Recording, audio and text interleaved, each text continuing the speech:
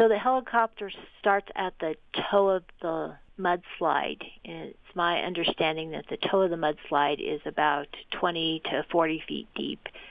And then the helicopter proceeds to go up valley along the mudslide.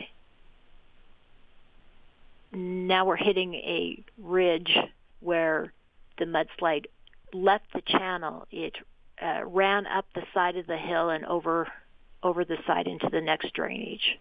And the sheriff uh, at the press conference was suggesting that that is an indication uh, that this stuff was moving really quickly if it can can push itself yeah. uphill. Yes, and and these things typically don't happen all at once. They happen in surges, and sometimes you can get the bottom material may have a higher viscosity, um, and then you can get material that's contains more water and it's more fluid, and it can override the top, and and so these things can ride up over each other. So now we're just going up into the the head of where the landslide started, and it's my understanding from talking to some of the geolo- our geologists on the ground that in this particular area the deposits may be 100 150 feet thick that filled in the channel. How is it that they determine that? Just from looking at topographic maps and seeing where the bottom of the channel was before.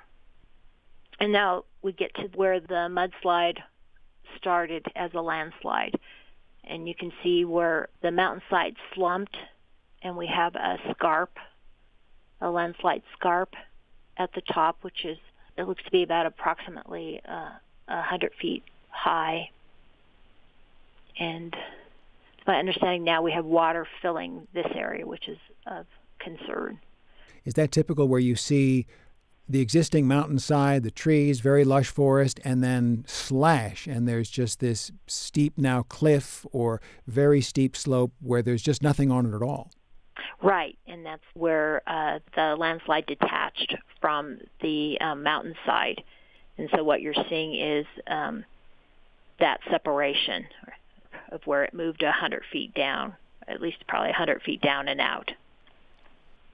So we can see at the top here when you say there's trees and then there's no trees, the area um, where there aren't any trees and it's almost vertical like a, a slide plane is what we call the landslide scarp. So that's where it moved from. And then you can see how it's tilted back into the slope and that's where water is collecting